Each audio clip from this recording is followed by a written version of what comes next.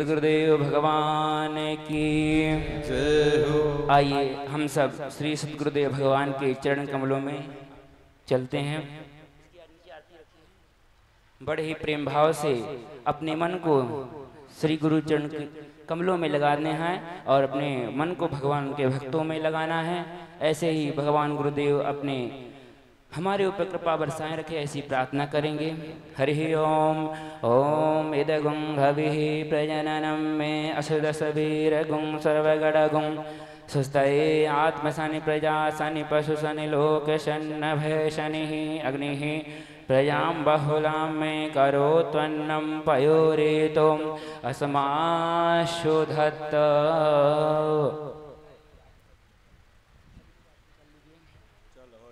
ओम ध्यान श्री भगवते श्याम विष्णु नमः। ओम नमो नारायणाय नमः। ओम ओम, इसका आवाज़ थोड़ा ठीक करो। ओम ओम, सीताराम, ओम।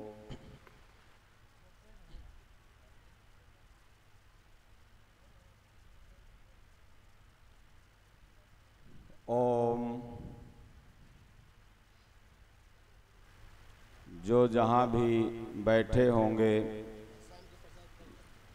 और पंकज जी के तरफ़ से ना। और हलवा है, देसी घी के मुँह में पानी आ गया हम पंकज जी हैं वहाँ के, हैं? पटना उधर, मैरिन ड्राइव के तरफ़ के।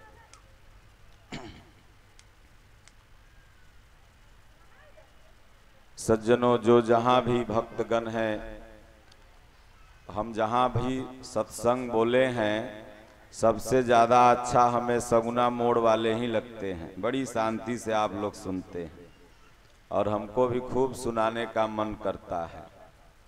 और हमने संकल्प लिया है कि रविंदर जाली जब तक ज़िंदा रहेंगे, तब तक कार्यक्रम होगा। और मर जाएँगे तो फिर बेटवा सब कराएगा। लेकिन अभी मरने नहीं देंगे। कृष्ण भगवान कहेंगे कि और बचे रहो। तो आप लोग जयकारा लगाइए भगवान का।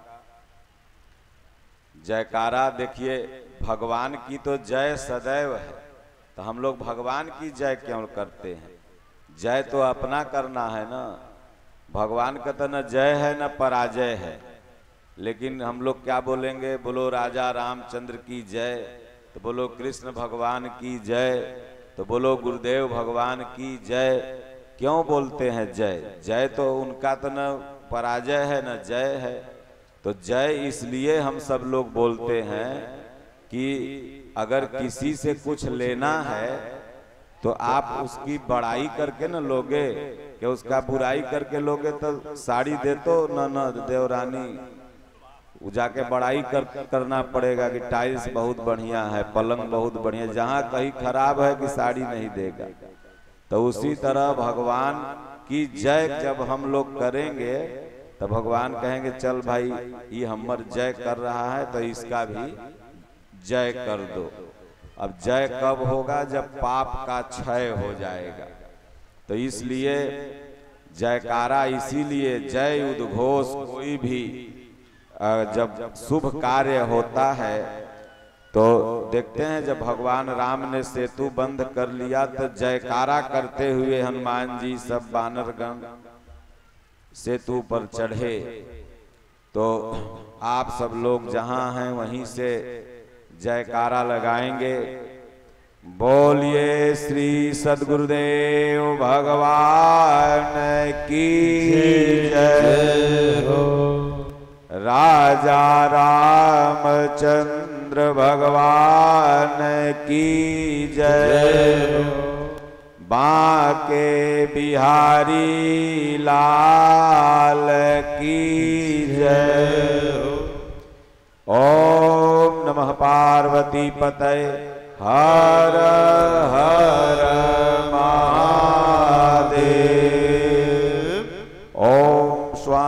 दीनानाथ प्रमहंस महाराज की जय। हो सज्जनों, आज हम आप लोगों को बताएँगे कि सत्संग की महिमा क्या है और दान की महिमा क्या है। वास्तविक दान किसे कहते हैं? उसके पहले आज तमाम लोगों के मन में कुछ न कुछ प्रश्न उठते रहता है। तो लास्ट में अगर किसी के मन में कुछ प्रश्न हो सत्संग के दौरान तो आप माताओं में, पुरुषों में जो भी किसी के मन में प्रश्न उपजे तो उसे आप पूछ सकते हैं पाँच मिनट में उसका हम लास्ट में जैसे उत्तर दे देंगे। तो अगर जिनके पास भी मन में प्रश्न होगा तो ये जो वेदांती चैनल चला रहे हैं, इन्हीं के पास चिट्ठी में लिख के ला के दे दीजिए। तो आपका अपना नाम लिख के दीजिएगा तो ये आपको बुला लेंगे।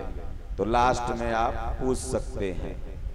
क्योंकि भगवान ने भी गीता में माना है कि परिप्रश्न सेवया। अर्जुन प्रश्न और सेवा के द्वारा ही उस ज्ञान को प्राप्त किया जा सकता है। और वह ज्ञान कोई न कोई तत्वदर्शी महापुरुष ही देता है। ये बातें जो हम आपको बताते हैं, इसमें मेरा अपना कुछ भी नहीं है। ये हमारे गुरु महाराज की बातें हैं, जो विंध्याचल के बगल में सौ बरस हमारे गुरु महाराज की उम्र हो चुकी है। और वहीं विंध्याचल देवी माई का नाम आप लोग सुने हैं ना? विंध्याचल देवी माई, उन बगल में बहुत बड़ा आश्रम है वहाँ, चुनार में। तो ये उन्हीं की विद्या है। और वहीं हम लोग आप लोगों को यथार्थ जो चीज़ें हैं, वो हम बताते हैं। तो इसलिए आप सब लोग ऐसा मत समझिएगा कि हम बता रहे हैं। तुलसी तुलसीदास ने कहा, तुलसी तुलसी सब कहे, तुलसी बन की घास, कृपा हुई रघुवीर की बन गए तुलसीदास। तो इसलिए आदमी का यहाँ कोई अस्तित्व ही नहीं है। एको हम दो तियो नास्ती। इस संसार में बस एक का अस्तित्व है वह है ईश्वर। वह है परमात्मा। द्वितीय यहाँ कुछ है ही नहीं। जैसे सूर्य भगवान एक हैं और अगर नीचे दस थाली आप रख दो तो दसों थाली में एक एक सूर्य भगवान दिखने लगेंगे। तो क्या दस सूर्य भगवान हो गए? नहीं, सूर्य तो एक ही है। उसी तरह से ईश्वर एक है। उसको किसी ने गॉड कहा, किसी ने खुदा कहा, किसी ने वाहे गुरु कहा, किसी ने भगवान कहा, किसी ने राम कहा। नाम भाषाओं के हिसाब से बदल गया, लेकिन वो है एक। जैसे आप दक्षिण में जाओ तो पानी को तनी बोलते हैं, इंग्लैंड में जाओ तो वाटर बोलते हैं, कहीं नीर बोलते हैं, कहीं चीर बोलते हैं तो क्या पानी बदल जाता है? पानी से प्यास ही बुझती है।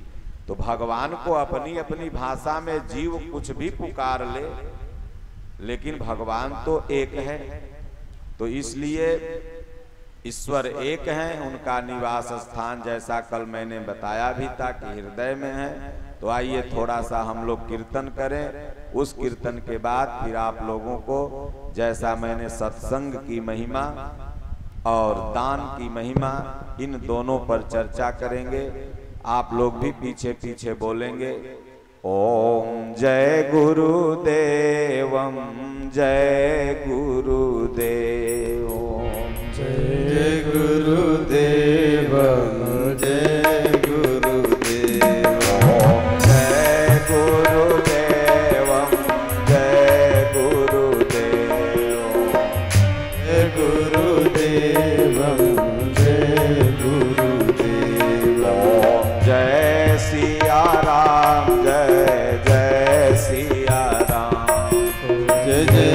सिया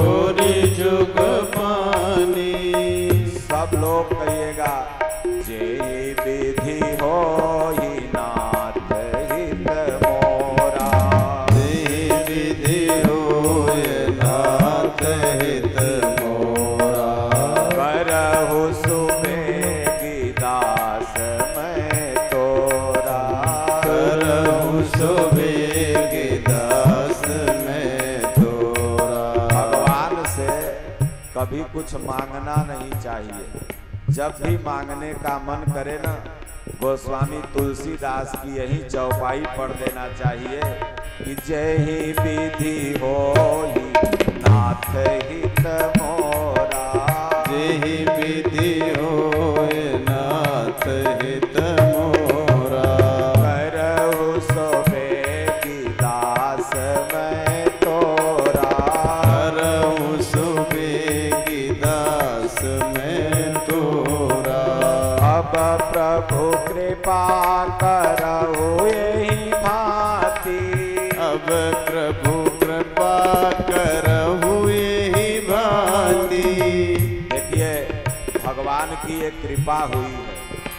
जो कार्यक्रम हो रहा है, यह साक्षात कृष्ण भगवान की कृपा है।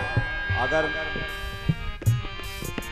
अगर कृपा नहीं होती तो ये कार्यक्रम होता ही नहीं। ये भगवान की कृपा प्रगति नगर वालों पर, ये हाईटेक वालों पर, सगुना मोड़ वालों पर हुई है। तो भगवान से क्या मांगना कि प्रभु अब प्रभु कृपा करो यही भांति।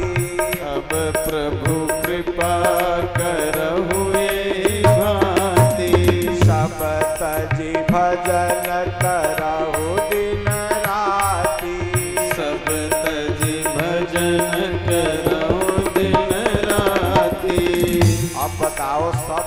त्याग के अगर भजन करने लगोगे तो बाल बच्चा पढ़ेगा लिखेगा कैसे?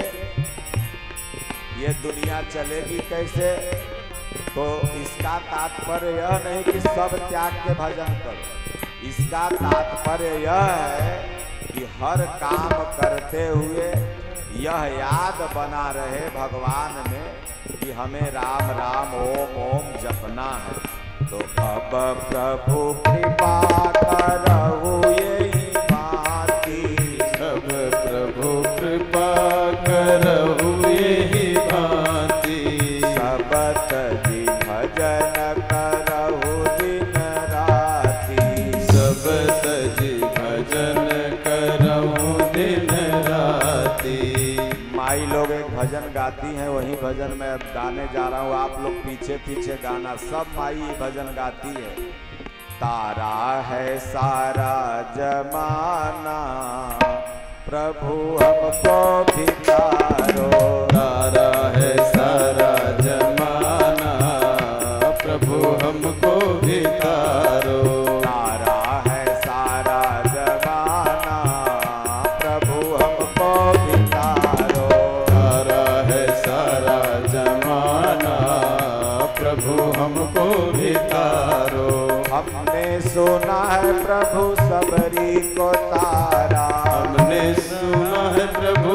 सबरी को तारा। हमने सुना है प्रभु सबरी को तारा। हमने सुना है प्रभु सबरी को तारा।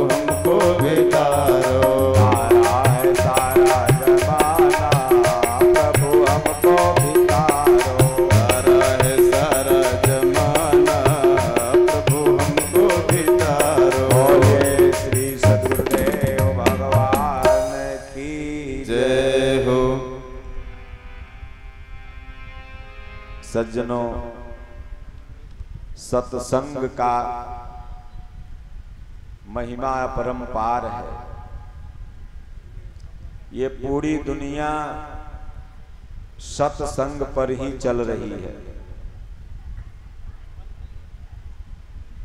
पूरी दुनिया, हर देश का माता पिता अपने बच्चों को कहता है कि सत्संग करो। सत्संग का मतलब अच्छी संगत करो। अगर वह इंग्लिश जानता होगा तो अपने बच्चों को कहता होगा कि गुड बॉय के साथ रहना बैड बॉय के साथ मत रहना। तो ये सत्संग न है, और क्या है? हमारे महापुरुषों ने भी यही कहा कि संगत ऐसी करना है जिससे कि आपकी रंगत बदल जाए। संगत ऐसे व्यक्ति की करिए जिससे आपकी रंगत बदल जाए, आपका स्वभाव बदल जाए। तो यही सत्संग है। तो इसलिए भारत देश में बड़े बुज़ुर्ग हमेशा अपने घर में नाती पोता को पकड़ लेते हैं, कहते हैं चलता अंशु मेरे झाल में सत्संग हो रहा है, प्रसादी मिलेगा। प्रसादी के लोभ से बच्चे आते हैं, बैठते हैं तो उन्हें ये बातें समझ में नहीं आती है, लेकिन फिर भी बैठते हैं। लेकिन जो ब्रेन है मनुष्य का, ये ऑटोमेटिक है, ये सेव कर लेता है। इसका सेंसर इतना मज़बूत है कि दुनिया में अभी तक कोई सेंसर बना ही नहीं। ये ब्रेन का इतना सेंसर मज़बूत है। सोचिए, इस छोटे से कैमरे को खड़ा करने के लिए चार स्टैंड लगा हुआ है। फिर भी डर बना रहता है कि ये गिर जाएगा। लेकिन ये भगवान द्वारा बनाया हुआ शरीर दौड़ रहा है, डांस कर रहा है। एक बार भी गिरता है क्या? ये सेंसर का ही कमाल है। पैर के नीचे एक चीटी आ जाती है और ये सेंस करके पैर बता देता है ब्रेन को कि नीचे चीटी है। ये सेंसर से ही आप चल रहे हैं, दौड़ रहे हैं, खा रहे हैं। जीभ सेंस करती है कि आपने मीठा खाया कि तीता खाया। नाक सेंस करती है कि ये आपका सुगंध है या दुर्गंध है। तो इसलिए आप लोग भी याद करिए अपना अपना बचपना। इसी तरह आप लोगों को दादा बाबा पकड़ पकड़ के लाते रहे होंगे जैसे आप आए। तो यही है सत्संग। तब आप लोग आज सुने कि नहीं, अंशु मैरिज हाल में भागवत कथा हो रही है। तो आप लोग बिना कहे चले आए। भागवत कथा का बड़ा महत्व है। और अपने जीवन में हर व्यक्ति को भागवत कथा सुननी चाहिए। और अगर आपको भगवान ने पैसा दिया है, सामर्थ्य दिया है तो एक बार करवा करके और लोगों को सुनवानी भी चाहिए। ये सात दिवसीय जो संतों ने बताया, इसीलिए बताया कि इसी बहाने भगवान में मन लगा रहेगा। और सीखने को मिलेगा और हमारी आप की संस्कृति का ट्रांसफ़र होगा। राम और कृष्ण को छोटे छोटे नौनिहाल बच्चे जानेंगे। तो ये सत्संग ज़रूरी है। गोस्वामी तुलसीदास जी ने सत्संग की महिमा बड़ा ही सुंदर श्री रामचरितमानस में वर्णित किया है। और गीता का अनुवाद ही है श्री रामचरितमानस भगवान श्री कृष्ण की परम पुनीत वाणी श्रीमद् भगवद गीता का ट्रांसलेट है श्री रामचरितमानस। भगवान भी गीता में कई जगह अर्जुन को कहा है कि अर्जुन, संग दोष से बचो और सत्संग करो। गोस्वामी तुलसीदास जी कहते हैं कि एक घड़ी, आधो घड़ी आधो में पुनियाद, तुलसी संगति साधु की हरे कोटि अपराध। अब साधु की संगत आपको करना है। अब प्रश्न उठता है कि साधु मतलब क्या होता है? दाढ़ी बढ़ा लें, लाल कपड़ा पहन लें, माला जपने लगे तो क्या वो साधु हो गए?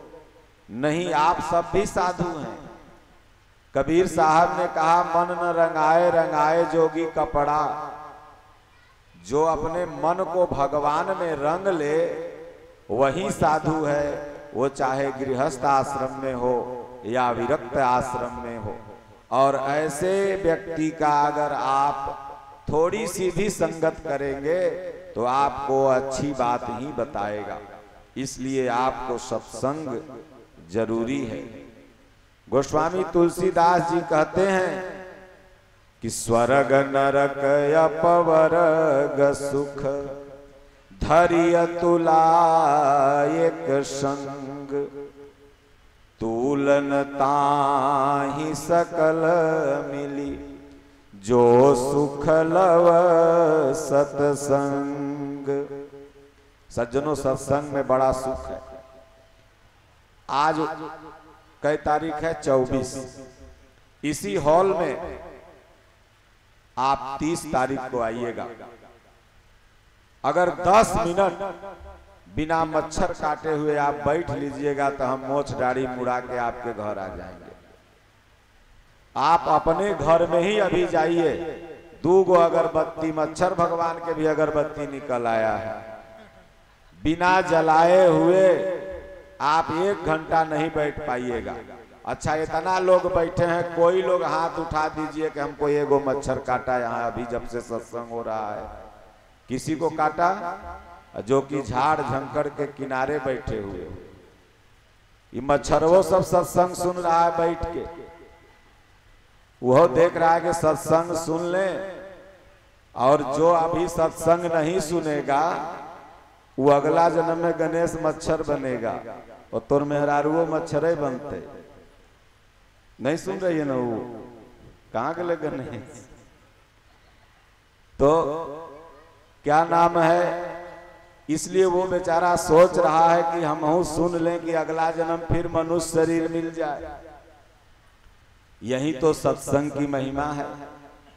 आप उतना आनंदित एसी में, घर में बैठे रहते हैं। चाय नाश्ता करते रहते हैं, उतना आनंद नहीं मिलता है। लेकिन आप सत्संग में बैठे देखिए कितना आनंद मिल रहा क्योंकि यह आत्मा का भोजन है सत्संग।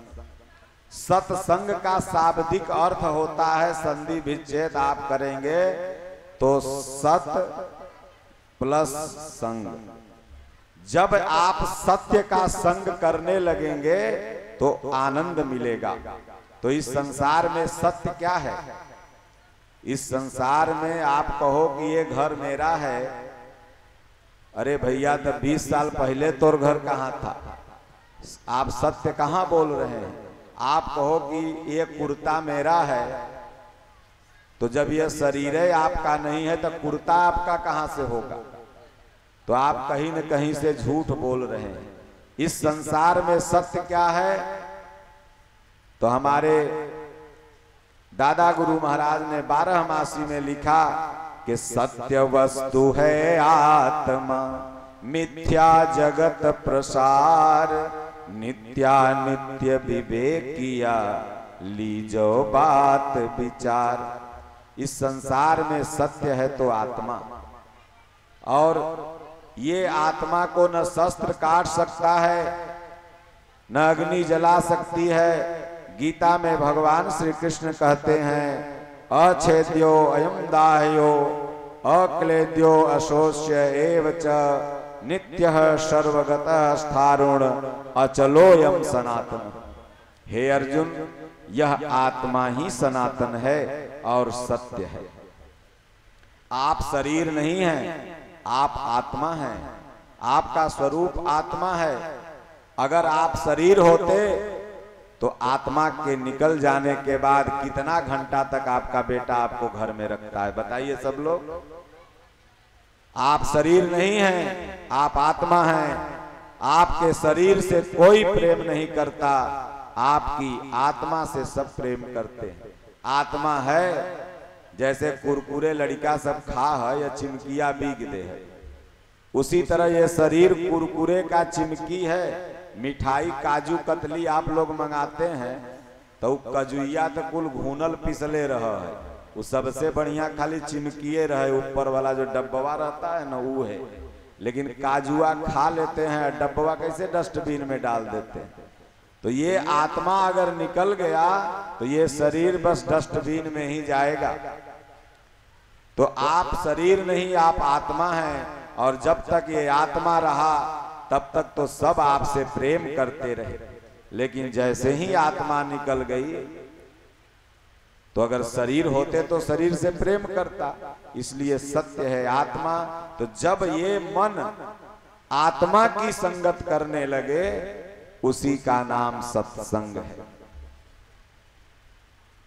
आत्मा की आवाज़ सुनने लगे, सही गलत का उसे आभास होने लगे तो कहते हैं गोस्वामी तुलसीदास जी, कि जो सत्संग में सुख मिलता है, धरती पर उतना सुख कहीं भी नहीं है। आप इतना सुख से अभी जी नीचे ज़मीन पर बैठे हुए हैं, इतना सुख से आप अपने घर के डल्लभ गद्दा पर नहीं बैठते हैं। ये सत्संग का सुख है, क्योंकि आत्मा को खुराक मिल रहा है भगवान का। इसलिए हर व्यक्ति को जहाँ भगवान की चर्चा होती हो वहाँ एक घड़ी, आधा घड़ी जितना समय मिले, आपको अपना राज काज करने के भाई हम नहीं करें कि आके यही सत्संग सुनो, सब साधु बन जाओ तो सबके बाल बच्चा के हम खिलाएँगे। नहीं। सब काम करो। हमारे गुरु महाराज कहते हैं कि सब अपना बाल गोपाल को देखते रहो। खाली एगो उसमें ऐड कर लो कि सुबह शाम भजनिया न छूटे पावे। जैसे कोई नशा करता होगा तो शाम में निकल जाता होगा कि अब चले नशा करें। कोई कुछ कोई कुछ मन उधर खींच लेता है। तो जब आप भक्ति का नशा करने लगोगे ना तो सारा नशा इसके आगे फीका पड़ जाएगा। कह, सभी नशे संसार के उतरी जात पर भात, नाम खुमारी नान का चढ़ी रहे दिन रात। इस संसार के सारा नशा अभी पियोगे दो घंटा बाद फिर पीने को मन करेगा। लेकिन अगर भगवान के नाम का, सत्संग का नशा अगर आपको चढ़ गया तो ये दिन रात चढ़ा रहेगा, ये फिर उतर ही नहीं सकता। माता मीरा को चढ़ा तुलसीदास को चढ़ा, कबीर साहब को चढ़ा, पूज्य गुरुदेव भगवान को चढ़ा। जिसको ये भगवान के नाम का नशा चढ़ा, वो उतर नहीं सकता है। इसलिए सज्जनों, जो सत्संग में सुख है, वह कहीं सुख नहीं है। एक कहानी से आपको मैं स्पष्ट करूँगा। एक महात्मा थे, उन्हें भगवान ने स्वप्न में दर्शन दे कहा कि एक महीने बाद तुम्हारी मृत्यु हो जाएगी। महात्मा जी उस दिन से खूब भगवान का नाम जपने लगे। खूब राम राम राम राम राम। बोले, अब एक महीना बाद तो मर ही जाना है। जितना भगवान का नाम लूट सकूँ, कह, राम नाम की लूट है। ये बूढ़वन सबसे पूछो, जे पक्कल आम हो गया है, कब टपक जाए? कोई गारंटी नहीं। लेकिन बूढ़ो सब डाई लगा लगा के जवान बनता है। तो कितना डाई लगा लो, भगवान तो देखिए रहे कि तुम्हारा कितना आयु है। महात्मा जी ने कहा अब एक महीना बचा है, खूब भगवान का नाम जपूँगा, कोई भगत जाए कुछ भी अपना दुख सुनावे तो कहें उसकी मर्ज़ी से अच्छा हुआ, जाओ। देखे कि जितना हम ही बकबकाएँगे उतना राम राम जपेंगे। क्योंकि ये दुनिया कहियो न सुधरी है, और न सुधरेगी। सुधरना अपने आप को है। हम अगर सुधर गए तो हम सुधरे, जग सुधरा। बुरा जो देखन में चला बुरा न मिलिहा कोई, जो दिल ढूंढा अपना मुझसे बुरा न कोई। देखिए, सारी पहलवानी चालीस बरस के बाद, तीस बरस के बाद, आज के समय में दवाई न खैब तो न बचब सारी पहलवानी वह टेबलेट खा के सब ज़िंदा है। तब कहे, होकरा मार देंगे तो होकरा कर देंगे तो हो जा प्लेट खरीद लेंगे तो लगता है कि दो चार सौ बरस का मेनू बनैले है इंसान। एक डीएसपी साहब रिटायर हुए, बोले, महाराज जी दो करोड़ रुपया मिला है, कोई बढ़िया बिज़नेस बतैतो तो वह आपके आशीर्वाद से करते हम। हम बोले, अब आप रिटायर हो गए, अब भक्ति करो, राम राम जपो। सरकार इसीलिए रिटायर किया है। ये नहीं कि कहीं दो कट्ठा उन्हें फंसा दिए लेकर के। कोनो दलाल मिल गया, कहे, चलो दू उन्हें का नाम है? सगुना मोड़ में ज़मीन खरीदा और ले आया उनको दो करोड़ फंसवा दिया। अब बेचारे वह टेंशन में हार्ट अटैक हुआ, मर गए। हम कहते, राम राम, जपो। और दो करोड़ के चार करोड़ बनाने के फिर हम पड़ गए। तो इसलिए ये क्या नाम है? राम नाम की लूट है। जब ये केस पक जाए ना तो समझ लो कि पहला नोटिफिकेशन भगवान का आ गया। जैसे कोर्ट आपको तीन बार नोटिफिकेशन करती है, उसके बाद वारंट इशू कर देती है। कुड़की जब्ती का, चाहे सूट एंड वारंट भी घोषित कर देती है बड़े बड़े गुनाहों में। तीन बार, लेकिन आपको वो आता है, क्या नाम है, वहाँ से समन। तीन बार में हाजिर नहीं होइएगा तो घर तोड़ देगा ना तो सूट वारंट कर देगा। तो भगवानों तीन गो नोटिफिकेशन देते हैं। उत्तर प्रदेश के मुगल सराय के गो बिरहिया थे हीरा लाल उगाते थे कि लिखी लिखी पतिया भेजेला सजनवा। सजनवा। जो भगवान हम लोग के सजन है। और पहली पतिया पहला नोटिफिकेशन जब आता है तो क्या है? कि पहली पतिया में केस पकी गई ले यह दाढ़ी पकने लगेगा, केस पकने लगेगा। कितना उखाड़ोगे, दूगो, तब तक दूगो पक जाएगी। तो पहली पत्ती आ गया कि रे, अब अलर्ट हो जाओ। अब पचास, पचपन उम्र हो गया, अब बहुत दुनिया देख, ताक लिया, अब भजन करो।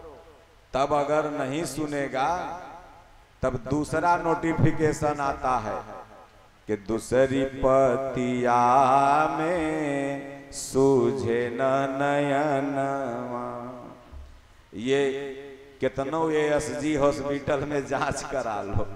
ये मशीन है कुल ठगन के नहीं समझ रहे हो? वो खाली तोरा रुपया ठगेला। यह मशीन में घुसा दिए वह मशीन में घुसा दिए, चश्मा लगा दिए, लेकिन कि बुतरू नियर दिखाई पड़ते बुढ़िया, बोलो। बुतरू नियर तो दिखाई देगा नहीं। भगवान वो घींच लिए रोशनी। कितनो प्रोटीन खा लो। जितने प्रोटीन सब बने हुए हैं, ये सब एगो कमाने का ज़रिया है कंपनियों का। बना बना के अपना बेच रही है। तो दूसरी पतिया में सूझे न नयनमा भगवान रोशनी खींचने लगेंगे कि अब देख, दुनिया को मत देख, अब तू मुझको देख, अब मेरे रूप को देख ही दुनिया को क्या देखता है? अरे टाइल्स नहीं लगा है तो टाइल्स लग जाएगा और क्या देखेगा? और नाला नहीं बना है सर दस बरस और जी लोगे? तो प्रगति नगर में रोड बनल देख लोगे और क्या देखोगे? भगवान को तो देख नहीं पाओगे। नाला बढ़िया बन जाएगा, यह देखोगे। भगवान को तो देख नहीं पाओगे। तो इसलिए भगवान कहते हैं, बड़ी दुनिया देख लिया, बड़ा घूम लिया, अब मुझको देख। तीसरी पाती में अगर नहीं मानोगे तो कहें, तीसरी पतिया में ले ली है परनमा। लिखी लिखी पतिया भेजेला सजनवा। तब तीसरी पाती में जमदूत के कहेंगे कि जाओ। वो नहीं देखेंगे कि बाबा सात दिन के कथा में बैठा हुआ है, इसकी कथा पूरी हो जाने तो तब ले जाएँगे। वो नहीं देखेंगे कि बिटिया का मड़वा छवाया हुआ है, बियहवा हो जाए तब ले जाने देंगे। वो नहीं देखेंगे कि तोर बेटवा छोट छोट है पढ़े लिखेला है, वो नहीं देखेंगे। वो समय आएगा, बस उठा के लेके चले जाएँगे। एक शायर ने कहा कमबख्त मौत कितनी सुंदर होती होगी कि जो इंसान देखता है, उसे गले लगा लेता है। अगर ज़िंदगी से सुंदर मौत होगी, तभी तो लोग गले लगा लेते हैं।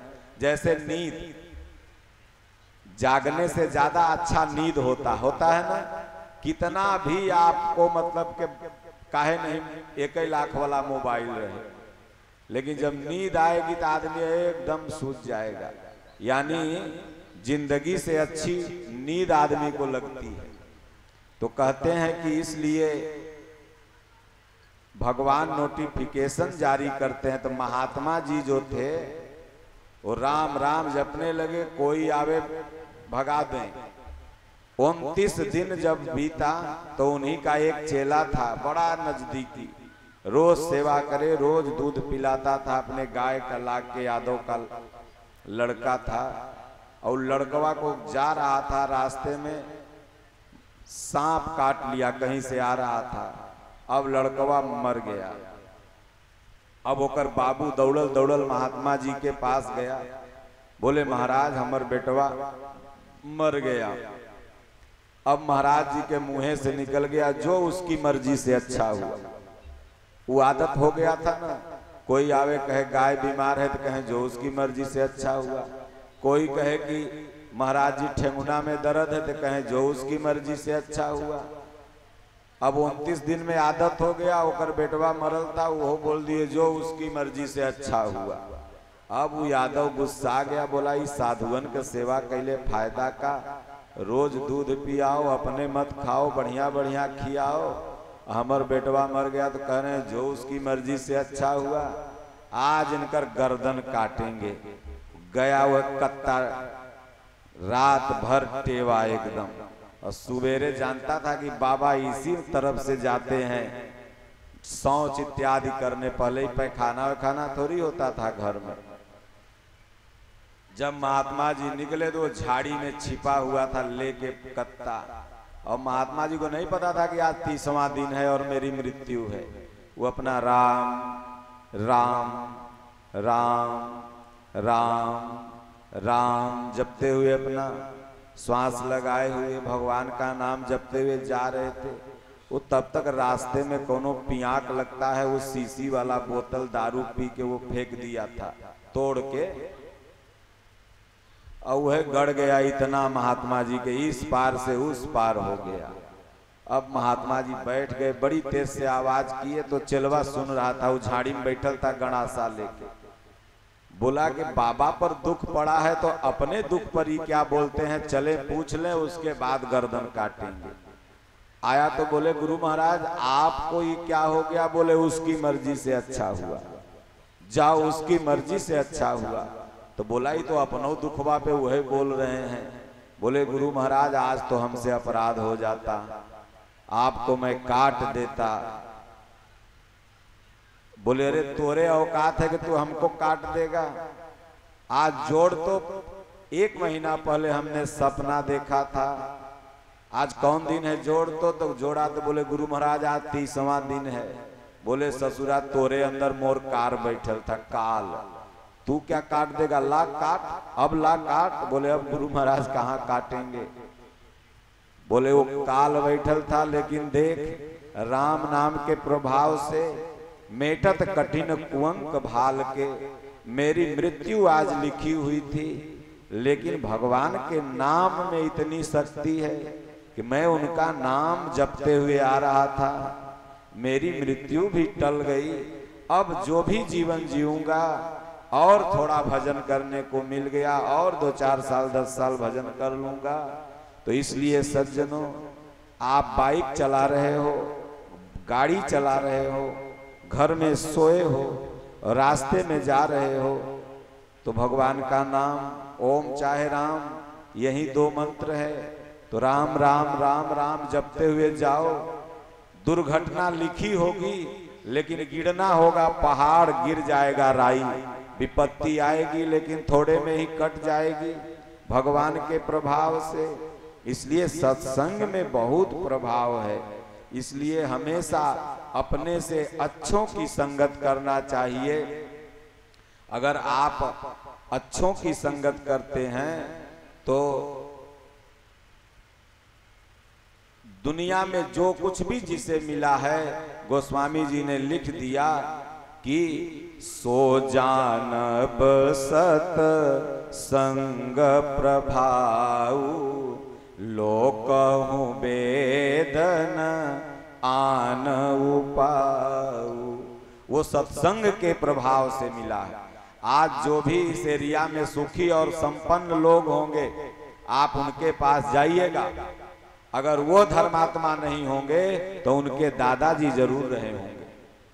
और वो, हो सकता है अपने दादा की ही कमाई पर आज धर्म, बहुत धनवान बने।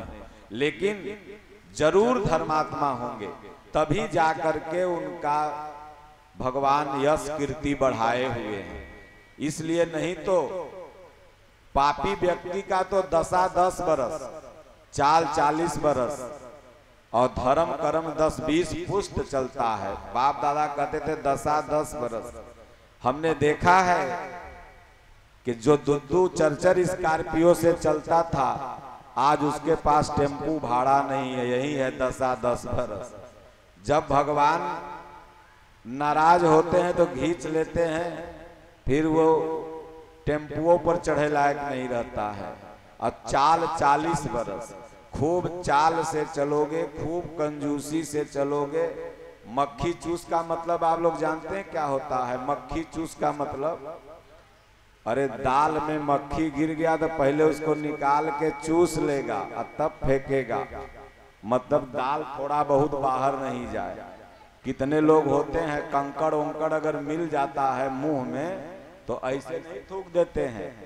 पहले उस कंकड़वा को ऐसे मिला लेते हैं कि कुछ एको भात बाहर न जाए, तब ओकरा ऐसे पकड़ के तब बाहर बिगते हैं। उसी को मक्खी चूस बोलते हैं। तो कितनो चाल से कंजूसी से चलोगे तो धन तुम्हारा चालीस बरस टिकेगा। इससे ज़्यादा नहीं। चालीस बरस बाद कौनो दान वीर कर्ण तोरे घर में पैदा होगा? और कोठा ओठा पर जैसे आज ये धुंधुकारी की कथा सुना रहे थे ना, कौनो कोठा वाली मिल जाएगी डाइन जोगिन और सब रुपया खींच लेगी। हैं? तो और धर्म कर्म से अगर आप चलिएगा तो दो चार दस पुष्ट चलेगा। लोग कहेगा एक दादाजी बनाए थे, देखो अभी तक चल रहा है। ऐसा है ना समाज में? तो इसलिए एक भजन अब हो जाए, उसके बाद फिर आपको दान की महिमा बताएँगे। तो एक कोई बढ़िया भजन आप सुना दीजिए, और तब एक तो हम भी बढ़िया भजन आप लोगों को सुनाएँगे। अभी आठ बजा है, अब ज़्यादा देर नहीं चलेगा। और प्रसादी पा करके और आप लोग आनंद से रहिए, उसी में हम आनंद हैं। इसीलिए हम लोग दो तीन घंटा यहाँ पर आके बोलते हैं। हम ये तमाम आजकल कथा वाचक घूम रहे हैं, पैसा लेते हैं, पाँच लाख, दो लाख, तब जाके बोलते हैं। हम किसी से एक रुपया नहीं लेते हैं, कथा और सत्संग के नाम पर। कि हम इतना दोगे तो सात दिन आके बोलेंगे। केवल आपका भाव चाहिए प्रेम चाहिए बस। साधु को क्या चाहिए? हम बहुत बना भी देंगे तो हमारे बेटवा बिटिया तो है नहीं कि उसमें रहेगा। कोनो ससुरा जाके गांजे पिए सो में और का हुई। मरले के बाद कोनो कोई गाड़ी हमर है कोनो कहेगा वो मैं अपने पे लड़ी है सो सब। तो इसलिए भजन एक आप लोग सुन लीजिए। और फिर तब सत्संग सुनाते हैं, फिर समापन कर देंगे।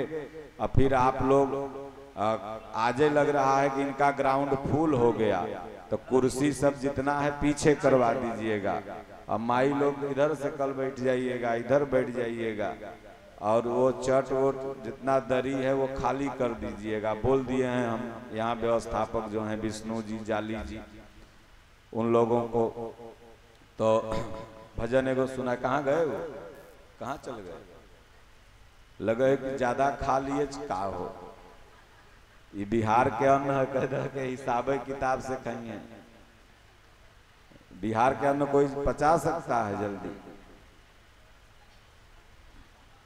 तो इसलिए जल्दी बुलाओ। कहाँ गए बिहारी जी?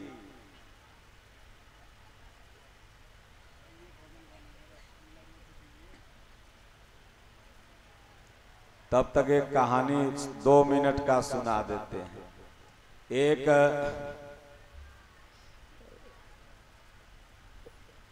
महाअपराधी था। उसको जब सजा हुआ तो जज साहब जो थे, उन्होंने कहा, देख, तुम तो है बड़ा अपराधी। लेकिन मैं तुम्हें तीन शर्त दे रहा हूँ। अगर इन तीन शर्त में कोई एक शर्त तुम मान लोगे तो मैं तुमको ये बीस वर्षा होने से रोक दूँगा। तो जेलर, जेल के जो जज साहब थे, कोर्ट के, वो उसका नशा छोड़वाना चाहते थे, इसीलिए उन्होंने ऐसा बोला था। बहुत पियाक था वो। तो उसके सामने उन्होंने तीन शर्त रखा। पहला शर्त रखा कि या तो तुम दारू पी लो तो तुम्हें जेल से हम मुक्त कर देंगे। या तो तुम गलत काम वेश्यावृत्ति कर लो तो तुम्हें मैं जेल से मुक्त कर दूँगा। और या तो चोरी कर लो। तो उसने देखा कि भाई, अब मैं सारे अपराध कर्म छोड़ चुका हूँ, अगर चोरी करूँगा तो फिर दुनिया ये कहेगी कि चोर है। अगर मैं गलत काम करूँगा तो फिर दुनिया कहेगी कि ये छिनार है। तो काहे नहीं दारू पी लेते हैं, एक गिलास का तो बात है सवेरे उतर जाएगा। और इधर हमको सजा होने से भी बच जाऊँगा। तो कहा कि, जज साहब, हमारा वही एक गिलास, एक पौआ जितना पीने वाले होते हैं ना, वो कहेंगे, बस बाबा, आज भर खाली बस, काल से एकदम छोड़ दे। और जब काल आएगा तो कहेंगे, काल कहा आज आ गया? फिर अब काल से छोड़ देंगे। सोचिए कि जिससे पूछो कहता हम नशा नहीं करते हैं। तो ये दो हज़ार करोड़ के पूरे भारत में दारू, गांजा, चरस कहाँ से बिक रहा है? ये रील बना के जय श्री राम लिख देना से राम राज आ जाए तो विचार करिए कि जिस देश में दस बजे के बाद आप अपनी बिटिया को कोई किराना दुकान से सामान लेने के लिए नहीं भेज सकते हैं। मतलब नारियाँ असुरक्षित हों दस बजे के बाद। जिस देश में 2000 करोड़ का दारू और 2000 करोड़ का ड्रग्स प्रतिदिन बिक रहा हो, उस देश में क्या सिर्फ़ जय श्री राम लिख देने से राम राज्य आ जाएगा?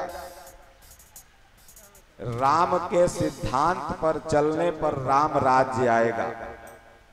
जब हम राम और कृष्ण के सिद्धांत पर चलने लगेंगे, तब यह देश जाकर के अपने आप सनातन राष्ट्र और हिंदू राष्ट्र हो जाएगा और राम राज्य यहाँ आ जाएगा। राम का सिद्धांत क्या है? तो राम का सिद्धांत यही है कि मातु पिता गुरु प्रभु के बानी, बिनही विचारी करिय शुभ जानी। माता पिता गुरु की जो वाणी हो, उसे बिना विचार के करो, यही राम का पहला सिद्धांत है। और जब उस पर आप चलोगे, तब राम राज्य आ जाएगा। तो जैसे ही वो दारू पिया ना तो जब आदमी नशा में हो जाता है तब उसको गलत काम करने का मन करता। है तो गलत काम करने के लिए क्या चाहिए? पैसा। तो जब दारू पिया का ठुकुर ठुकुर करता है? जब दारू पिया तो अब गलत काम करने का मन किया, गलत काम करने के लिए पैसा चाहिए, तब क्या किया? चोरी जाके किया।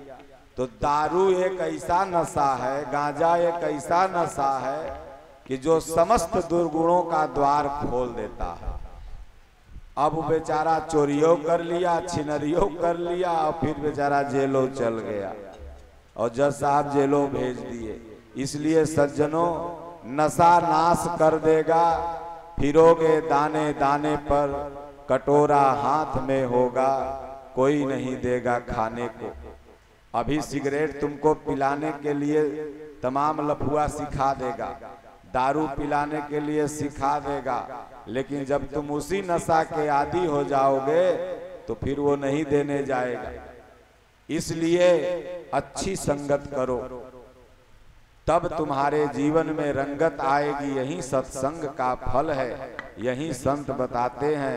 तो एक भजन आप सुना दीजिए। हमर माथा गर्म हो गया। बोलते बोलते।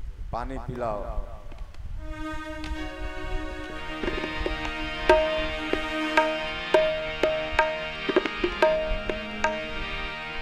राम नाम से तूने बंदे क्यों अपना मुख मोड़ा?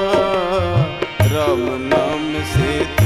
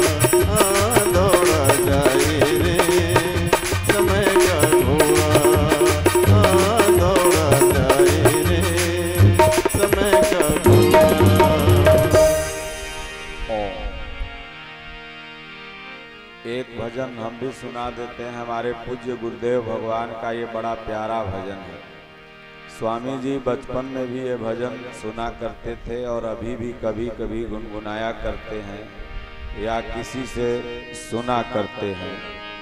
तो आप लोगों ने भी ये भजन सुना होगा। बड़ा पुराना भजन है। तो पीछे पीछे आप लोग भी गाएँगे, उसके बाद फिर दान क्या है, वो हम बता करके और आज की कथा का यहीं पर विश्राम करेंगे। तो इसलिए हड़बड़ाना नहीं है, बल्कि जो लोग रास्ते में हो, वो भी जल्दी से आ जाएँ। तो आप लोग भजन गाओ। ओ पालन हारे, निर्गुण या प्यारे। ओ पालन हारे निर्गुण या प्यारे। ओ पालन हारे,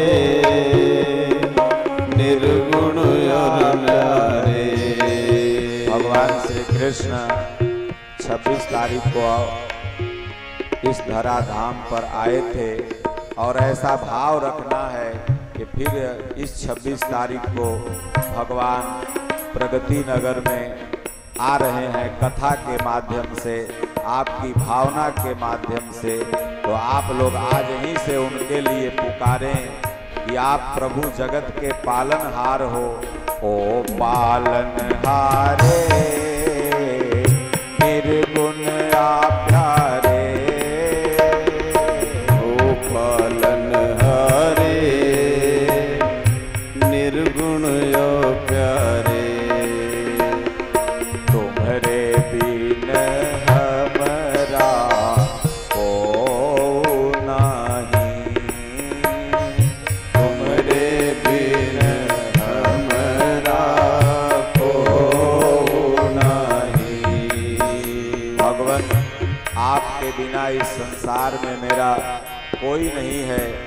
सब हमारी इज़्ज़त के लुटेरे हैं। आप हो बस तो हमारी उलझन। सुलझाओ भगवन, हमारी उलझन।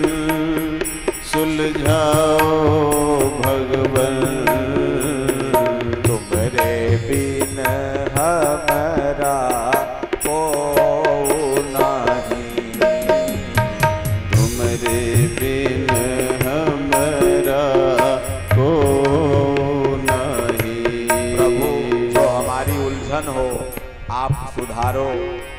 आपके सिवा दुनिया में उलझन देने वाले बहुत हैं। आप ही हो जो इस उलझन से उबार सकते हो। इसलिए तुम्हें हम का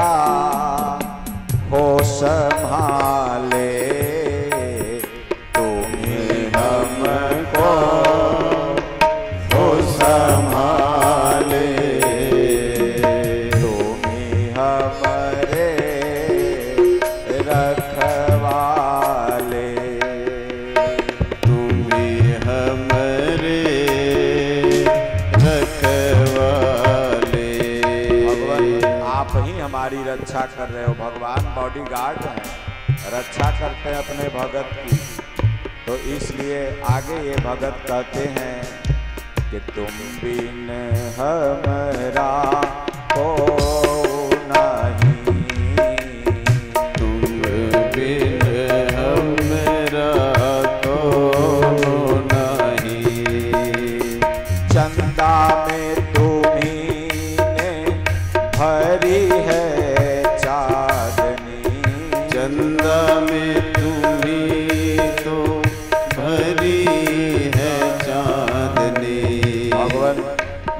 ये में जो चांदनी आप लोग देख रहे हैं ना, ये भगवान की ही शीतलता है।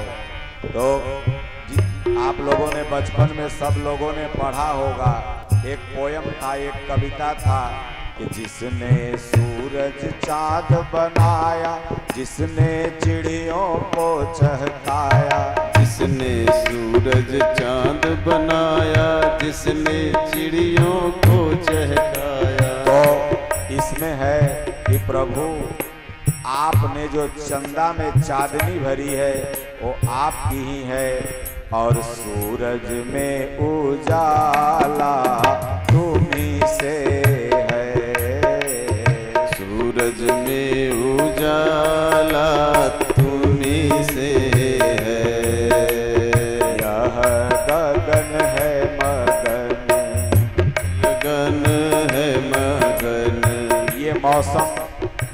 का क्लाइमेट अभी खूब मगन है।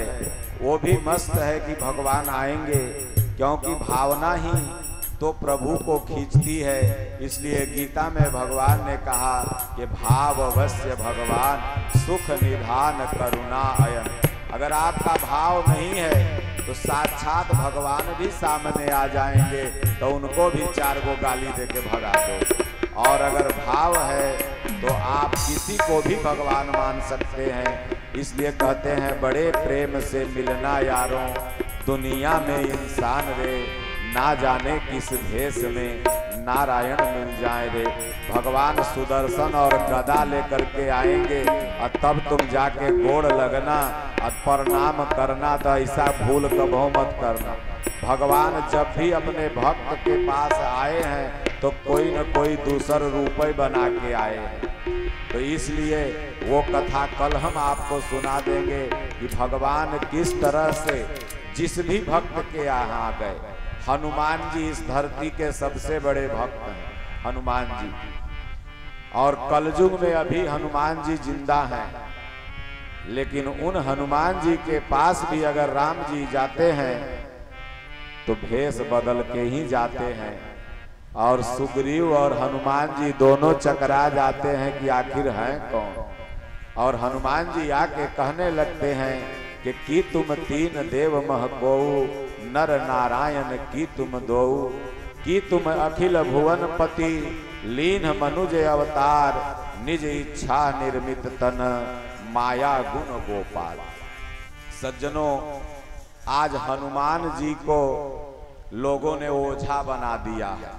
खास तौर से आपके पंडित पुरोहित लोग। ये मोबाइल सब लोग बड़का चलाते होंगे। उसमें देखते होंगे कि अभी 10-20 ठो बाबा ऐसन है मोछ मुड़ा मुड़ा के, ये सब के पर्ची बनाते हैं, नहीं समझे? और पीछे हनुमान जी के फ़ोटो। पर्ची, अब आपकी पर्ची बन रही है और अर्जी लग रही है।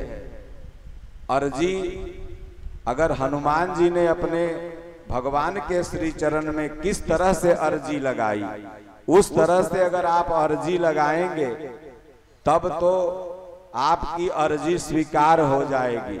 और नहीं तो अगर ढोंग, धतूरा, नारियल, चुनरी बाँध करके अर्जी लगाइएगा इक्यावन इक्कीस जा करके तो भगवान फिर कहियो अर्जी नहीं लगने वाली है। आप सोचिए कि जब राम जी पर विपत्ति आई थी तो राम जी अर्जी लगाने गए थे। जब कब विपत्ति आई? जब लक्ष्मण जी को शक्ति बाँध लगा। तब राम जी ने क्या कहा? कि हे हनुमान जी, जाओ जड़ी बूटी लेके और वैद्य को बुला के लेके आओ, इसका इलाज कराओ। और आज सब लोग कहेंगे कि नहीं, अर्जी लगाइए। और हम तब आपका पर्ची बनाएँगे। और कई ठो हैं।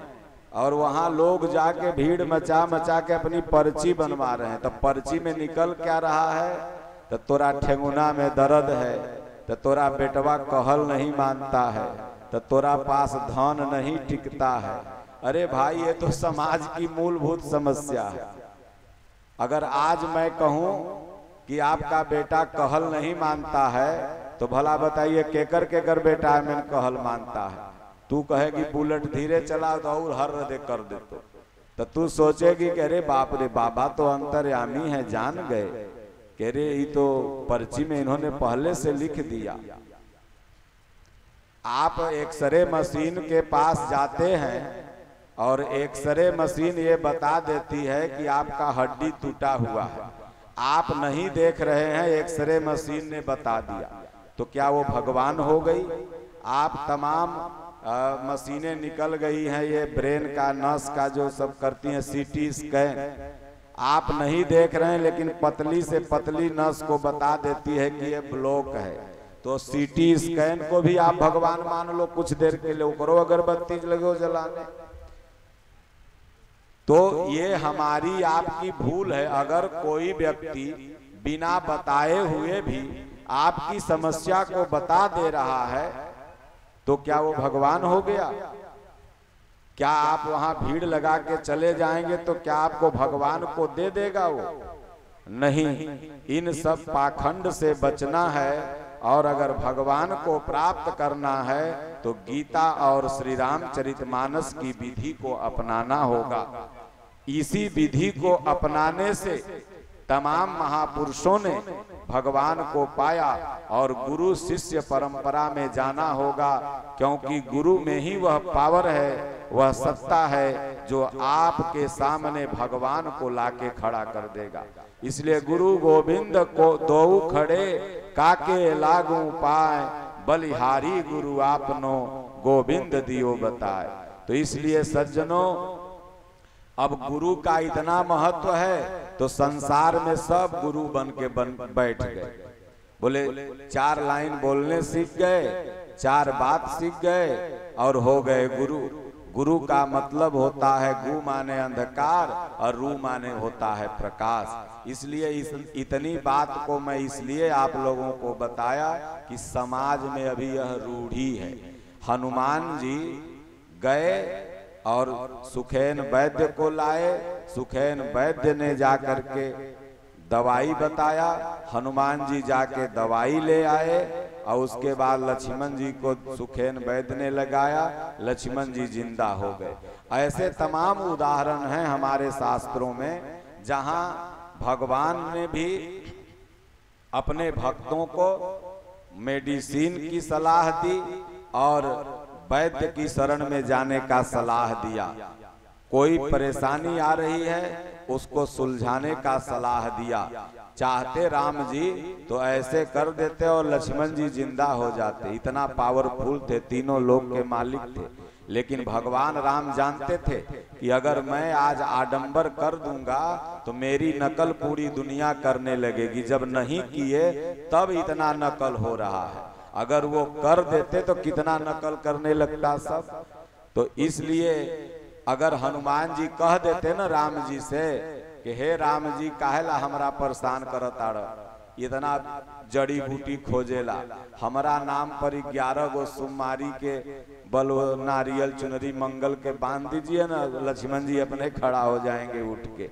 हनुमान जी बोल देते राम जी को तो वो हनुमान जी को ये लोग ओझा बना लिए, भूत भगाने का देवता बना लिए। कहीं भूत पिशाच निकट नहीं आवे, महावीर जब नाम सुनावे। तो भूत माने क्या होता है? संस्कृत डिक्शनरी में आप पढ़िए, गूगल पर सर्च करिए, भूत माने होता है जीवित प्राणी। इसलिए भगवान शिव का एक नाम था भूतनाथ। तो कहते हैं कि हमारी उलझन सुलझाओ भगवान, तुम्हारे बिन हमरा कोई नहीं। इसलिए इन रूढ़ी से बचना है और आगे कहते हैं, जो सुनो तो कहे, प्रभु जी, हमरी है यही बिनती जो सुनो तो कहे, प्रभु जी, हमरी है यही बिनती जो सुनो तो कहे, प्रभु जी, हमारी है जन को धीरज दो। हारे नहीं हो कभी दुख से। कि जन को धीरज दो हरे नहीं हो कभी दुख से। तुम निर्बल को रक्षा दो रह पाए निर्बल सुख से। तुम निर्बल को रक्षा दो। रह पाए निर्बल सुख से। भक्ति दो, शक्ति दो। जन के हो स्वामी। जग के हो स्वामी। तो अर्ज़ सुनो हे पथ में अधियारे।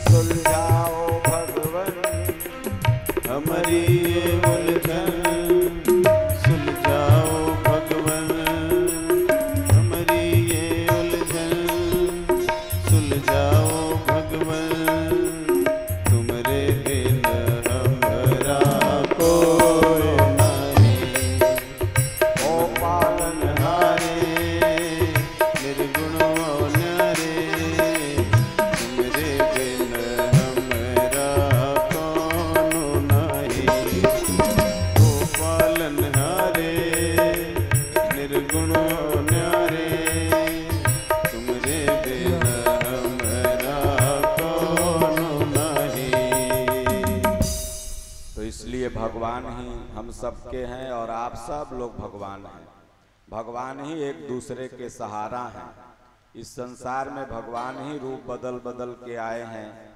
कहीं चेला बन जाते हैं, कहीं गुरु बन जाते हैं, कहीं बेटवा बन जाते हैं।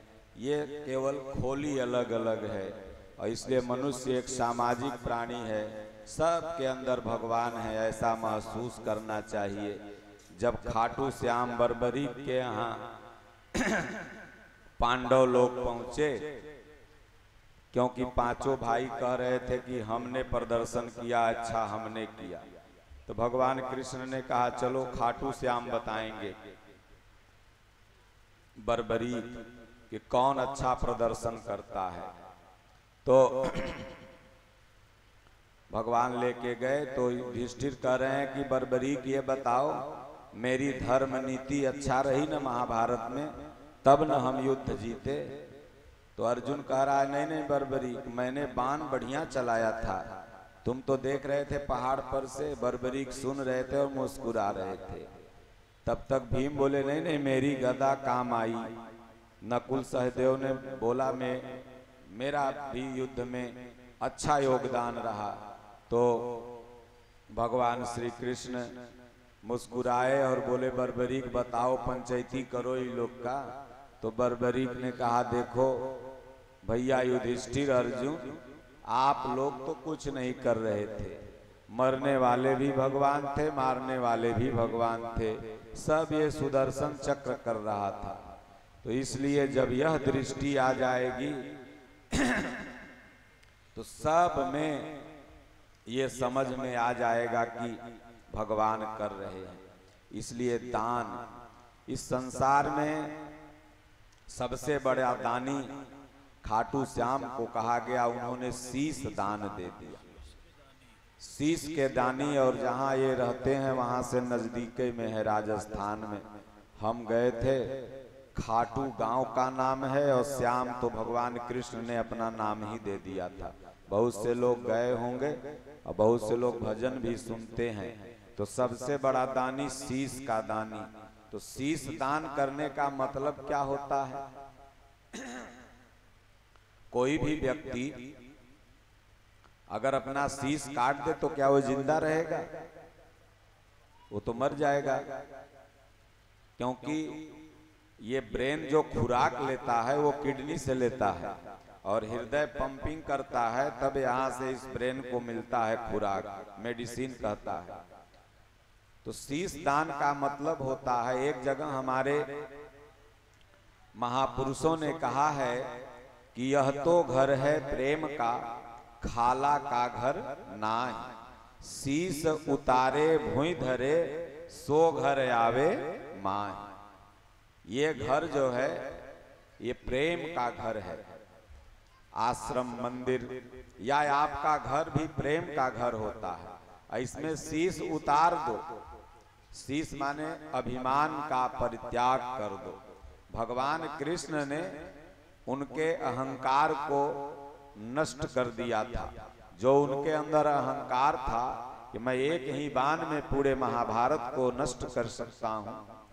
जीत सकता हूँ और मदद उसकी करूँगा जो कमज़ोर होगा। तो भगवान ने कहा कि अरे ही कैसे होगा? मेरी शरण में तो अर्जुन है। तो भगवान कहे अच्छा ये पत्ता जो देख रहे हो ना, पाकर का पेड़ आप लोग देखे होंगे, हवन के काम में वो लकड़ी आती है। तो पाकर के पेड़ के नीचे जाइएगा, मेरे आश्रम में है बख्तियारपुर रानी सराय जहाँ मैं रहता हूँ। तो देखिएगा कि नीचे से सारा पत्ता उसका लगता है कि छेदा हुआ है। और ऊपर से उसी पत्ता को देखिएगा तो लगेगा कि एकदम पैक है। लेकिन जब उस पत्ता को नीचे से देखिए तो लगता है कि सब में छेद है। तो भगवान ने दो पत्ते अपने चरण के नीचे रख लिए, लेकिन बर्बरीक ने सब पत्तों में छेद कर दिया और उस पत्ता में भी छेद हो गया जो चरण के नीचे था। तब भगवान ने सोचा, अर्जुन भी मेरे चरण के नीचे है, शरण में है, ये तो ससुरा ओकरो मार देगा। तो ऐसा करो कि इसका शीश काट दो, अहंकार इसका नष्ट कर दो। फिर बर्बरीक जब अहंकार नष्ट हो गया, तब बर्बरीक भगवान के भक्त हो गए और उन्होंने कहा, प्रभु, एक इच्छा है महाभारत, पूरी देखने का मन है। तो ये आध्यात्मिक चीज़ है, महाभारत का मतलब लड़ाई नहीं होता है। महाभारत का मतलब होता है कि महा माने होता है महान, भा माने होता है ज्ञान, और रत माने होता है जो इसमें लगा हुआ है।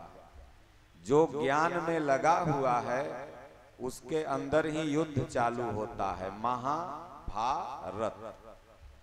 तो जब अंदर से युद्ध का सूत्रपात हो जाएगा तो वही व्यक्ति धीरे धीरे इस युद्ध में कौरवों का नाश कर देगा, पांडवों की विजय हो जाएगी।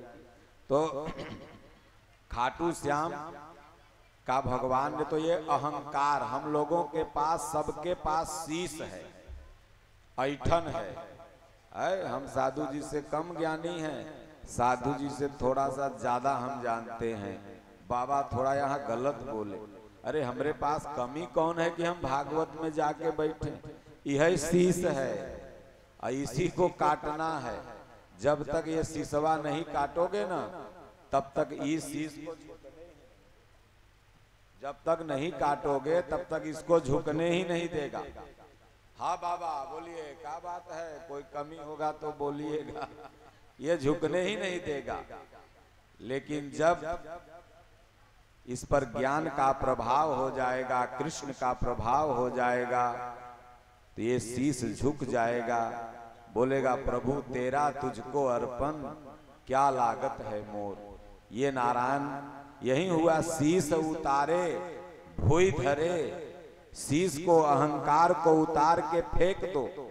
न जाने कितने आए। ऐठते ऐठते कब पारालिसिस मार दिया, कब चले गए, पता ही नहीं चला। तो इसलिए शीश उतारे, भूई धरे, सो घरे आवे माई तो जब शीश का दानी बन जाओगे, अहंकार का परित्याग कर दोगे, तब आप वास्तविक दानी बनोगे। और यही वास्तविक दान है, मन का दान, मन का समर्पण। एक बार भगवान श्री कृष्ण और बड़ा रोचक तथ्य है, दो मिनट का है, बता देते हैं। भगवान श्री कृष्ण और अर्जुन बैठे हुए थे। भगवान श्री कृष्ण कई बार अपने वार्ता क्रम में कर्ण का नाम ले रहे थे। खाटू श्याम भी एक दानी थे और हमारे इतिहास में एक कर्ण भी दानी था और एक राजा बलि भी दानी थे। लेकिन कर्ण को सबसे बड़ा दानी कहा गया। खाटू श्याम से भी बड़ा दानी कर्ण था। सज्जनों, आज कल कोई अपने बेटवा का आज तक कर्ण नाम रखा, बताइए तो। कर्ण नाम रख भर दीजिए, वो सब लुटा देगा, सब दान कर देगा। तो खाटू श्याम श्याम से भी बड़ा दानी कर्ण था। अब अंतर हम बताएँगे तीनों दानी का, कि तीनों दानी में खाटू श्याम से भी बड़ा दानी कर्ण कैसे हुआ, या राजा बलि से भी बड़ा दानी कर्ण कैसे हुआ। तो कर्ण का बार बार भगवान कृष्ण नाम लेते थे। तो अर्जुन को गुस्सा आता था। कहे अर्जुन बोले, प्रभु चाय नाश्ता हमारे पास हो रहा है। जब आते हो तो चाय लाओ, नाश्ता लाओ। अब बड़ाई दुश्मन की। अब कोई के घरे जाओ आप, चाय पियो उसका। अब बुराई करोगे, बड़ाई करो दुश्मन की तो मार के बहिया देगा। क्या भाग यहाँ से। बड़ाई दुश्मन की कर रहा है। तो अर्जुन कहे, प्रभु, खा रहे हो मेरा। गुणगान कर्ण का, क्योंकि थे सब भाई। लेकिन अर्जुन को पता नहीं था कि ये कर्ण मेरा बड़ा भाई है। कुंती ने आगे आपको कथा व्यास जी सुनाएँगे। अब हम ही सुना देंगे तो ही बेचारे क्या सुनाएँगे। ये सोच रहे हैं, महाराजे कुल सुना दे रहे हैं। तो क्या नाम है? अर्जुन बिगड़ गया तो भगवान के अच्छा ठीक है, देखो। परीक्षा ले लेते हैं, तुम देख लेना कि कर्ण दानी है कि युधिष्ठिर दानी है। तो बोले, आपने मेरे भैया से मांगा कब? मांगिए जो मांगेंगे वो देंगे। कर्ण का दानी है दानी है खाली रटले रहते कर्ण इतना बड़ा दानी था कि जब इंद्र अर्जुन के पिताश्री थे और गए कवच कुंडल मांग के लेकर चले आए। दे दिया। चीर के दे दिया चक्कू से निकाल के। कवच अभेद विप्र गुरु पूजा यही सम विजय उपाय न दूजा। तो भगवान कहे अच्छा ठीक है, बारिश का समय आने दो, बारिश का समय आ गया। पहले बारिश होती थी तो चार चार महीना लगातार होती थी। लोग लकड़ी वगैरह सब घर में पहले रख लेते थे। आज के तरह गैस वगैरह नहीं था। पहले जीवन बड़ा कठिन था। धीरे धीरे विज्ञान उन्नति करते गया, जीवन सरल होते गया। तो बारिश के समय में पंडित जी बन गए भगवान कृष्ण, चेला बना लिए अर्जुन को। और दोनों पंडित चेला चल दिए। चल गए पहले युधिष्ठिर के पास, वहाँ गए तो भगवान कृष्ण ने कहा, देखो भैया, हम तो यज्ञ कर रहे हैं और सौ मन चंदन की लकड़ी की ज़रूरत है, आप दो। युधिष्ठिर ने कहा, ठीक है ब्राह्मण देवता आप बैठे, हम सौ मन चंदन दे देते हैं। और बारिश झमाझम हो रही थी, लग रहा था कि उत्तराखंड में जैसे बादल फटा है, वैसे बारिश हो रही थी। पूरा घोड़ा दौड़ा दिए, कोई बढ़ई के पास हस्तिनापुर में लकड़ी नहीं मिला। इंद्रप्रस्थ दौड़ा दिए, वहाँ नहीं मिला। तब आकर के बोले, प्रभु, हे ब्राह्मण देवता, संत देवता यज्ञ एक महीना आगे टाल दो। जैसे ही बारिश खत्म होगी, आपको 200 मन चंदन की लकड़ी दे देंगे। भगवान ने कहा, देखो, साधु का एक मरा दस खड़ा। एक हटा दस खड़ा है, तैयार है कि भाई, हम बाबा करेंगे। तो इसलिए अब तुम्हारे पास नहीं है तो कोई बात नहीं, जाओ। हम दूसरे दरवाजे मांग लेंगे। मांगना ही है तो लाज कौन किस बात का? तुम नहीं देगा, दूसरे दरवाजे जाके मांग लेंगे। चले गए। कर्ण के पास, कर्ण बैठा हुआ था। जैसे ही देखा कि कोई ब्राह्मण आ रहे हैं संत वेश में, जाके दंडवत प्रणाम किया। बोला, आइए। भगवान बोले, देखिए, मैं यज्ञ करा रहा हूँ। कर्ण ने कहा, देखिए, बात विचार बाद में होगा। पहले कुछ बैठिए, चाय नाश्ता हो जाए, उसके बाद बात विचार होगा। भगवान को खिलाया, उसके बाद कहा हाँ अब बोलिए। अब तो दुआरिये में से, फलेटे में से एगो इतना छेदा वाला लगैले रहे। देख ले, कौन है? पापा नहीं है घर में। रहबो करेंगे तो नहीं है। अब तो कैमरे में से देख ले, अब तो छेदों में ताके की ज़रूरत नहीं है। लेकिन मतलब आदमी व्यवहार से हटता जा रहा है। और अगर कहीं दिन भर में दस कप चाय बनाना पड़े तो तलाक निश्चित है। कहेगा कि तोरा दोस्त यार इतना आते रहता है कि हम तोरा चाय बना लेला, हमर बाबू बीस लाख दिल के तिलक। हम जाहियो कोर्ट में अप्लाई करने। पुरानी सभ्यता लोग भूलते जा रहे हैं। तो भगवान ने कहा, देख, हम जग करा रहे हैं, सौ मन लकड़ी की ज़रूरत है। कर्ण ने कहा, भगवान, अभी बारिश हो रही है। लेकिन आप घबराओ मत, सौ मन नहीं, दो सौ मन लकड़ी की व्यवस्था करता हूँ। गया तीर धनुष ले आया। राजा महाराजा का दरवाज़ा चौकट तो बड़ा मोटा मोटा होता है। आप लोग जब सेखुआ का लगाते हैं, जिनके पास पैसा आटता है, नहीं तो भाई एलमुनियम के लगा लेते हैं। तो मारा एक के बान कुल्हे वही चंदन के लकड़ी के चौकट बनवैले था, सब टूट गया। अब वो दो सौ मन हो गया। बोले, भगवान, उठा के ले जाओ। जितना मन करे उतना ले जाओ। और ज़रूरत है तो एक दो दरवाज़ा और है, और तोड़ देता हूँ। तुलसी पच्छिन के पिए, घटे न सरिता नीर। दान दिए धन ना घटे, जो सहाय रघुबीर। अगर भगवान दिए हैं तो अगर कहीं शुभ काम होता रहे, कहीं सत्संग हो, भंडारा हो, उसमें बढ़ चढ़ के हिस्सा लो। क्योंकि बैंक वाला या तो बिटवा बिटिया खई हैं, या तो बैंक मैनेजरे खाई जाएगी अभी सत्य घटना में बता रहा हूँ, अयोध्या के एक भक्त हैं मिश्रा जी। उनके ससुर साहब दुबई में रहते थे कोरोना काल में। तो दुबई में रहते थे तो लगता है कई डॉलर रुपया इंडिया में भेजे थे। तो दुबई से पटना में शायद ट्रांसफ़र होता है, पैसा है वो इंडियन बनता है, पटना में कोई बैंक है तो वहाँ से ये झारखंड के थे तो झारखंड में नहीं है वो चीज़, पटना में है।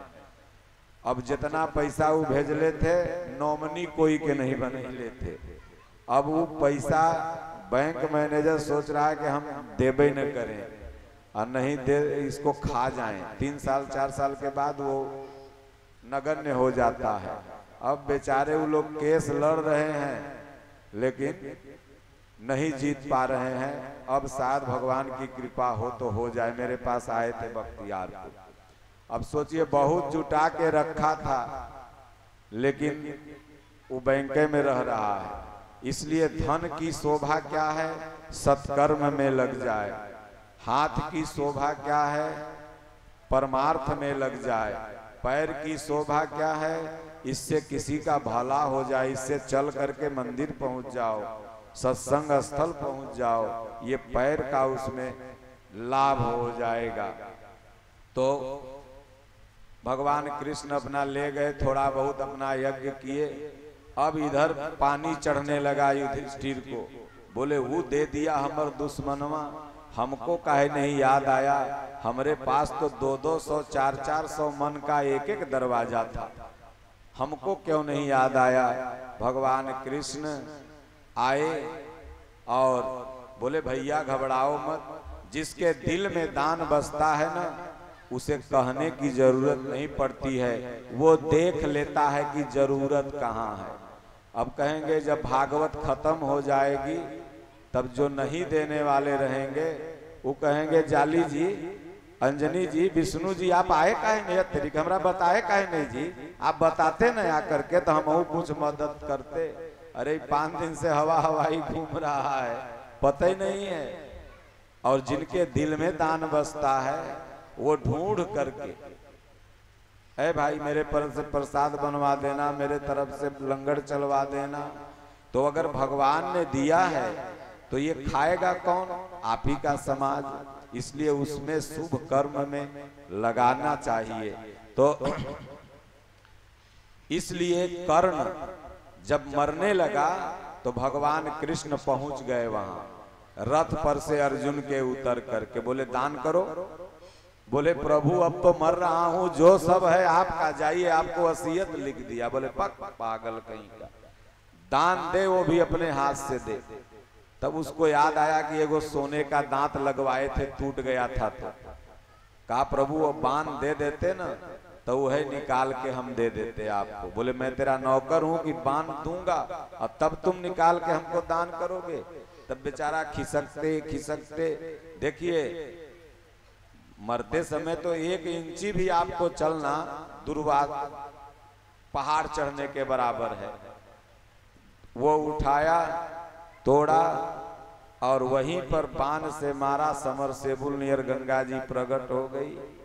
और धो के बोला, प्रभु, लीजिए। भगवान ने कहा, जाओ, तुम्हारे से बड़ा दानी कोई नहीं होगा। वो भी कृष्ण जी का भक्त, बाली भी भगवान विष्णु कृष्ण अवतार का भक्त, शीश दानी खाटू श्याम भी भगवान कृष्ण के ही भक्त, लेकिन वही भगवान श्री कृष्ण सर्वश्रेष्ठ दानी की संज्ञा प्रदान करते हैं कर्ण को, और कर्ण से कहते हैं, तू कुछ मांग, बोले, प्रभु, ये कर्ण वो भी मांगे, ये असंभव। अभी तक तो आप मांग रहे थे हमसे, अब करें, तू मांग? बोले, नहीं अच्छा मांगो मत, कुछ इच्छा ज़ाहिर कर दो भक्त, मैं तुम पर ऋणी हो गया।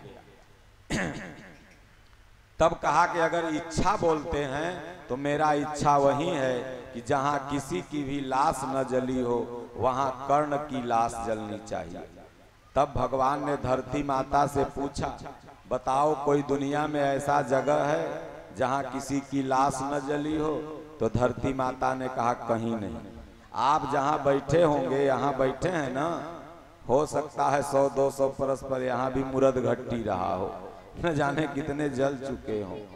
तो भगवान ने अपने हाथ पर कर्ण की चिता बनवाई और उस हाथ पर जला दान के बल पर। बलि को भी भगवान ने कहा, मांगो। तो बलि ने मांग लिया था।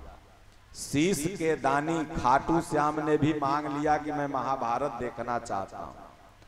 बलि ने कहा, प्रभु, मैं जिस दरवाजे से निकलूं, आपका दर्शन हो जाए। लेकिन कर्ण ने कहा कि मैं मांग नहीं सकता। इसलिए कर्ण महान हो गया, दानियों में श्रेष्ठ हो गया। तो अगर आप दान करते हो तो बदले में फल की इच्छा मत रखना। 500 आप लिफाफा लेके किसी के यहाँ जाके बेटी बहू के शादी में देते हैं, रिसेप्शन में देते हैं तो आपको आशा रहता है कि ये हमको भी आएगा, देगा। लेकिन दान जब आप करते हैं, एक मुट्ठी चावल चाहे जो भी क्षमता के हिसाब से तो उसमें आशा नहीं रहता है कि हमारा बाबा जी देती नहीं थी तो जहाँ पर आशा नहीं होता है, उसी का नाम दान है। तो इसलिए आप, ये दान की प्रथम सीढ़ी है। संसार में एक मुट्ठी भी अगर आप किसी को देते हैं तो एक मुट्ठी आपने संसार का त्याग कर दिया। और धीरे धीरे यही दान आपको मन का दानी बना देता है, कर्ण जैसा बना देता है। इसलिए उनका परम प्रिय शिष्य अर्जुन नहीं जला हाथ पर, लेकिन कर्ण भगवान के हाथ पर जला। इसीलिए सज्जनों, दान में यह शक्ति है। तो ये हमारे कहने का तात्पर्य है कि आप खूब भजन, चिंतन, ध्यान, पूजन करते रहें सत्कर्म में, क्योंकि धन तीन प्रकार का होता है। दान, भोग नत नाश। जैसे ब्लड आपके शरीर में तैयार हो रहा है, अगर ज़्यादा तैयार हो रहा है 18-20 यूनिट हो जा रहा है, वो तो उसको दान कर दीजिए एक आग दो यूनिट, नहीं तो एक दिन तो पेशाब बन के बाहर आ जाएगा। तो दान भोग अनत नाश। तो इसलिए सज्जनों, भगवान के दया से अब कल फिर सत्संग होगा, आठ बज के बावन मिनट हो गया। अब भगवान की आरती होगी। आप सब लोग अपनी चरण पादुका आज तक लगे माई लोग पहन के अबे नहीं किया है। बढ़िया है, ध्यान यही सत्संग में है। और सुखदेव महाराज झुंझुन्ना बजा रहे हैं। तो चलते फिरते खूब नाम जपते रहना है, प्रेम से रहना है, गुतिया नैया, सास पतो देवर जेठरानी, खूब मेल मिलाप से रहोगी, तब जाके भगवान मिलेंगे।